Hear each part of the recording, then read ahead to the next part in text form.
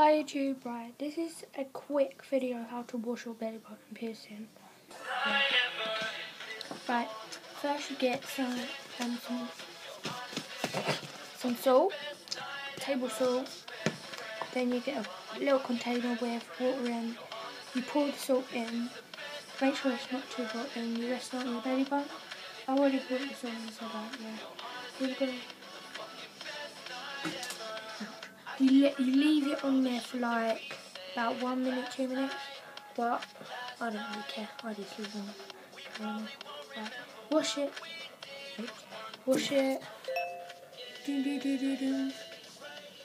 Yeah, wash it, wash it, wash it. Wash it around. I'm going to take it off because I've already done it. Right, get a little bit of tissue, right, you leave it for a little bit, for like about 10, 5 seconds. 1, 2, 3, 4, 5, 6, 7, 8, 9, 10. Yeah.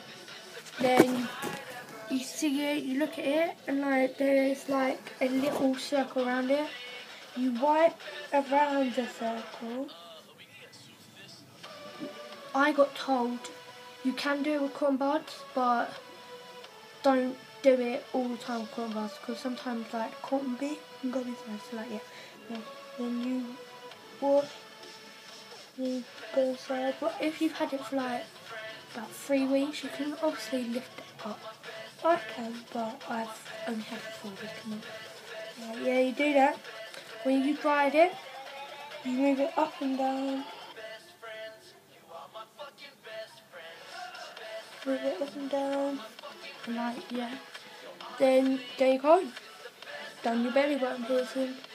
Then you do that. That's it. That's that for that, yeah. Hope you enjoyed. Like, comment and subscribe. By the way, comment start comment like in under any of my videos telling me what I should do for my next video. I might give you a shout out. Goodbye. I bet all of it.